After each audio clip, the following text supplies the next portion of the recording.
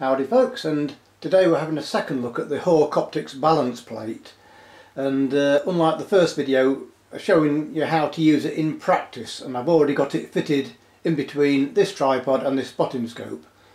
And you could also use this for camera lenses uh, if you have a larger camera lens and in which case this section here you could turn around and have it on the on this opposite side to help balance in case it's front heavy.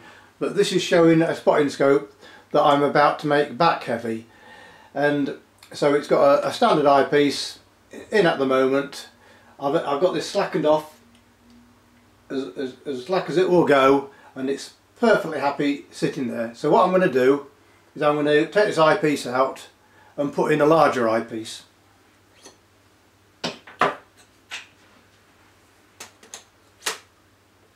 and we just wait. And there you see it's back heavy straight away. So all you do is slacken the adapter off there the balance plate and move you can move it forwards and backwards quite easily. Tighten it up and let go. And there you see hopefully it's not going to move. And so that is with the balance plate in the forward position so if you had a camera lens on which would make it more front heavy you would simply attach the tripod plate with this turned around and so you could then if it's front heavy move your camera and lens back and it will balance and, and stay perfectly in place. And yes it's it's um, doing as it's told and it's staying there while we do this video. And that that means that you don't have to have this tightened up as much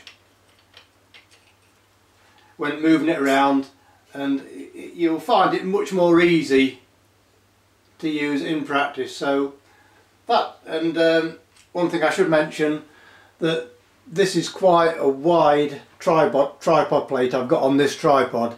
And so some tri tripod uh, heads that they do have quite narrower plates and that will give you a bit more movement but even though this one is quite a wide tripod plate there is still quite a bit of movement there.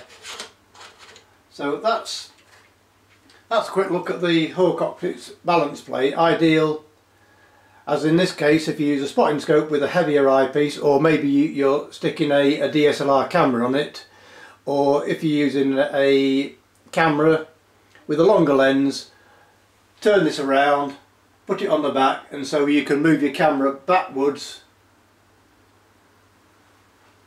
to help, help keep it nicely balanced. So it's ideal for tripods and uh, bird hide clamps uh, as well if, if you like um, looking at nature. So I hope that helps. Thank you very much for watching and please check out the links in the description below